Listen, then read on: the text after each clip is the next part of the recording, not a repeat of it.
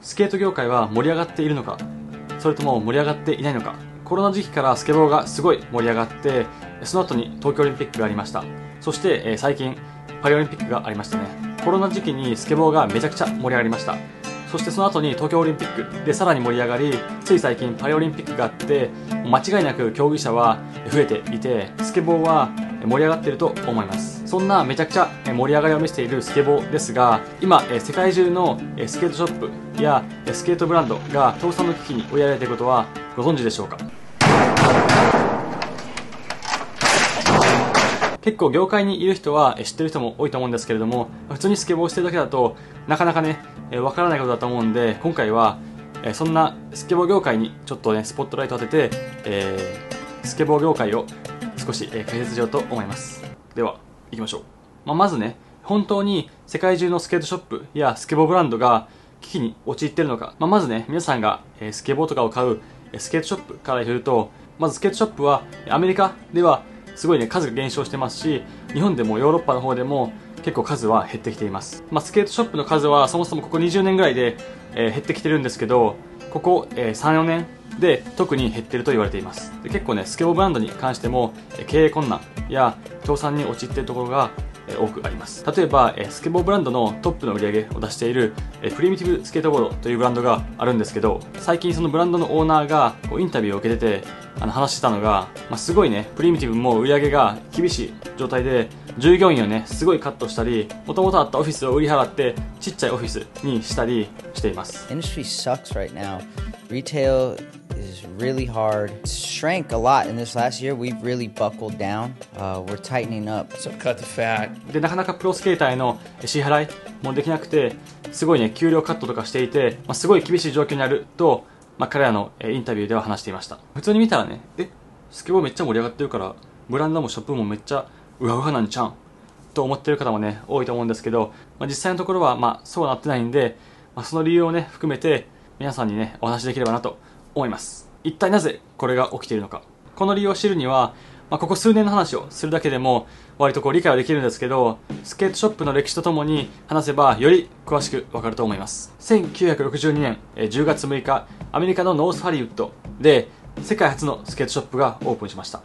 バルサーフというショップなんですけど今でもねこのショップは、え運営されています。こういうねローカルのスケートショップはまあ、物を販売するっていうのはもちろんですけど、まあ、ローカルのね情報を集めたりコミュニティを作ったり、まあ商品情報をね流してくれたり、まあ、知らない街だったら美味しいご飯を紹介してくれたり駐車場の場所を教えてくれたり、まあそのエリアのコミュニティを盛り上げるためにいろんな役割をしています。こういうローカルショップが、まあスケートシーンの文化を作っていくわけです。特に SNS がなかった時代はこういうショップっていうのがすごい重要な情報源になっていました。そして1970年代80年代に入るとバックトゥザフューチャーなどの映画をきっかけにスケボーのブームが起こります。この辺りから日本を含め世界中でスケートショップがオープンし始めます。いろんな商品も開発されてスケーターもバンって一気に増えました。まあめちゃくちゃ業界として伸びたというわけです、まあ当時はね今と違って、まあネットがなかったんでどうやってショップがね物を買ってたかっていうと、まあ、スラッシャーみたいなマガジンの最後にメールオーダーっていうページがあってその、えまあ、マガジンのとこから商品を注文することができます。当時はねそういう一部の雑誌から情報を得るしかなかったんです。なので多くのショップはそういう雑誌を手に入れてそこからメールオーダーって言って、まあ、雑誌を通して、えー商品を注文していました。この時はもちろん今と比べてスケートブランドも少なく需要に対してのブランド数が少なかったんでそのブランドたちは、まあ、スケボーっていうニッチな業界ですけど、えー多くのね売り上げを立たせることができました。今でも有名ですけどこの時代の伝説のプロスケータースティーブ・キャバレロがインタビューに答えていて彼曰く、えー1987年の年にあの、まあ、プロモデルがあったんですけど彼のプロモデルがこう、まあ、1枚売れるためにインセンティブとして彼に1ドル入ってくるっていう契約があったらしいんですね。でその契約で彼は1年間で25万ドル手にしたそうです、えー約3500万円ですね。なので、まあ、世界中のスケーターがこのデッキを買ったということが分かります。おそらく今世界中でここまで、えー一つのモデルで売れているデッキブランドはないと思います。しかし1990年代に入るとスケボーブームは少し落ち着きを見せます、まあ、この時は多くの人は、まあ、ブームが終わったと思っていたそうです。多くのスケートショップやブランドが倒産に追いやられました。しかし2000年代に近づくにつれてスケボーはえー、また盛り上がりを見せます。どうしてかっていうとまたこうメディアに露出がすごい増えたりトニーホークのゲームなどがすごい流行って、まあ、ゲームからスケボー始める人が、えー、めちゃくちゃ増えたからです。なので80年代は映画次はゲームというわけですね。そしてさらに X ゲームズなどこうコンテンツや大会がすごい増えて、まあ、一般人へのね露出する機会がめちゃくちゃ増えたそうです、まあ、これをきっかけにショップやブランドがまたバンって増えました。そしてこれまでなかった動きとしてはストリートファッションが一般的になったという点が大きかったそうです。これまではこうスケート界の中で、えー、ファッションがねすごい流行ったりしたんですけどなかなかこう一般層にまで行くことはなかったそうです。しかし、え、2000年代に入るとヒップホップカルチャーやスケートカルチャーがすごいこう盛り上がってスケートファッションが一般層もリーチするようになりました。まあ、今のようにこうその辺の、え、スケーターじゃない人がスケボーシューズを履くみたいな時代に入りました、まあ、この時すごい盛り上がりを見せたのがこう Vans とか etnies とか、まあ、ナイキとかあと、まあ、今はちょっとないんですけど IPATH とか、えー、 Fallen とかあと Circa とかそういうねシューズがいっぱい出ました。しかし次に来たのが、えー、2008年リーマンショック。リーマンショックは、えー、住宅ローンが不良債権化しアメリカの株が暴落した。まあそれによって、まあ、世界中のね、こう株価がバーンって暴落して、もう経済終わったみたいな感じのことなんですけど、もちろんね、えっと、スケート界だけじゃなくて、もう世界中にめちゃくちゃ影響あったんですけど、まあ、スケート界にもね、大きな打撃があって、まあ、特にね、資金的な体力がなかったスケートブランドの多くが倒産に追いやられました。そして次に来たのが、インターネットの時代。これまでね、こうブランドがあって、ショップがあって、消費者がいて、まあ、ショップでこう買うっていうのが普通だったんですけど、あのネットによって、こうブランドが直接えー、消費者に売れるっていう D2C、えー、形態が非常に盛んになりました。まあ、ネットがない時代にはね、考えられなかったこうブランドから買えるっていう形ですね。これ,、まあ、これによって間のショップが入ってないんで、まあ、ブランドはより儲かる、えー、スケーターはより安く買えるっていう形で、まあ、素晴らしく思えたんですけど、まあ、これによってめちゃくちゃ多くのショップが潰れました。何の問題があるかっていうと、えー、スケートショップが死ぬとそのローカルのシーンがなくなっちゃうわけですよ。で、ローカルのシーンがなくなるとどうなるかっていうと、まあ、こう、スケボーの盛り上がりが下がったり、スケボーのシーンが盛り上がらなくなる。そうすると、新しいスケートが増えない。そうすると、ブランドが儲からないっていう、まあ、こう悪い、あの、サイクルに入ってしまいました。これはね、今も続いてて、まあ、うまくやってるところもあればうまくやってないところもあるんですけど、まあ、そういう現状が起きました。まあ、一方でこういうネットがあることによって、配信者が増えて、こう、スケボーが盛り上がるとか、まあ、いろんなね、メリットあるんですけど、デメリットの方で言うと、まあ、そういうデメリットがあると。まあ、こういう時代のね、流れがあって、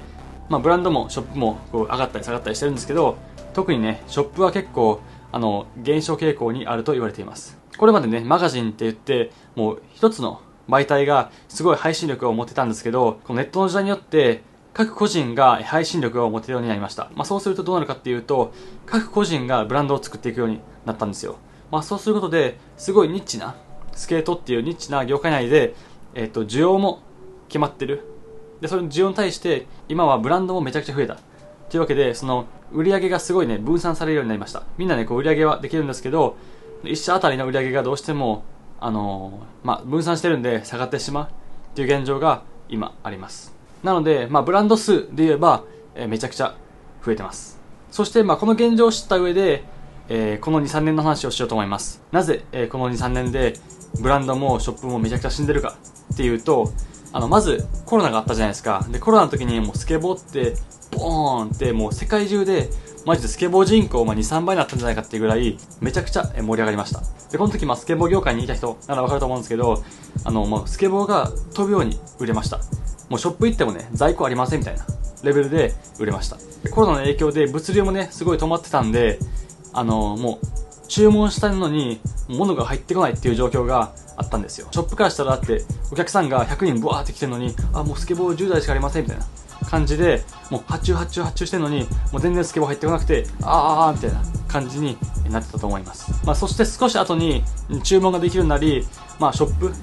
などはもう大量発注やって感じでめちゃくちゃ注文したわけです。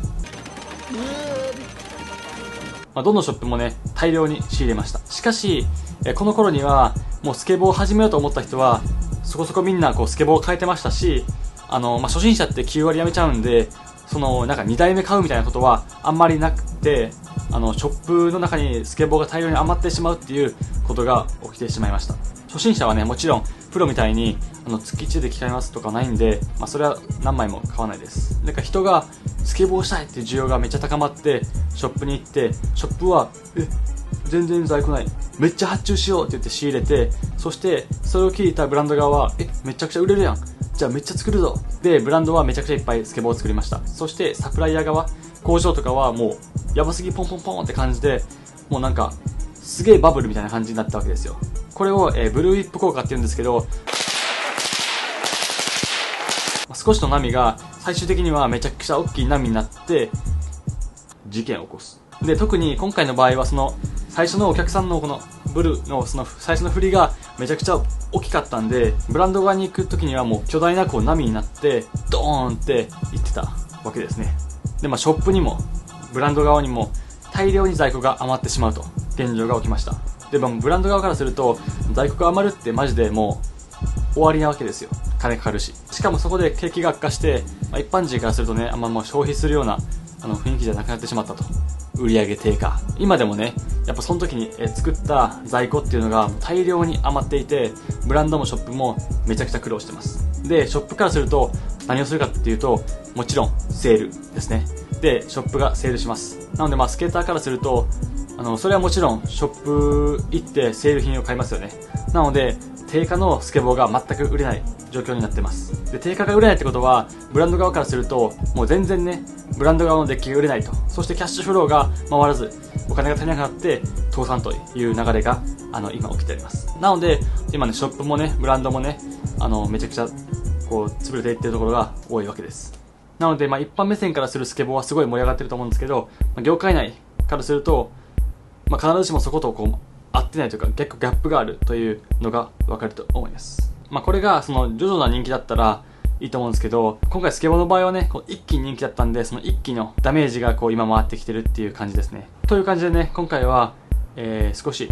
今のスケート界の現状について話してみました。皆さん知ってましたか？それとも知らなかったですか、まあ、ぜひね、皆さん、あのコメントで皆さんの意見を聞かせてください。今後、スケボー業界はどうなるのか。結構こういうテーマ、興味ある人、割と少ないと思うんですけど、まあ、そういう興味ある人に見てもらえたら嬉しいなと思いますちょっと関係ないんですけどあの僕がやってるカフェとアパレルブランドザ・クレーマークラブがあるんですけどその、えブランドから今ちょうどあのスケートビデオが出ましたここ2年ちょっとで撮った映像をギュッてまとめて、え10分ぐらいの映像で、えそのクレマクラブのアカウントから配信してるんでぜひ見に行ってみてください。欅とかたっくんとかサガリオとか楓とか翼とか結構ねいろんなメンツが出ててあのめちゃくちゃいい映像になってると思います。多分その映像を配信と同時に多分ちょっとねアパレルも、えー、サイトから販売されてるんでぜひね興味ある方は、えー、そのアパレルも見に行ってみてください。ではまた、えー、次回の動画で会いましょう。バイ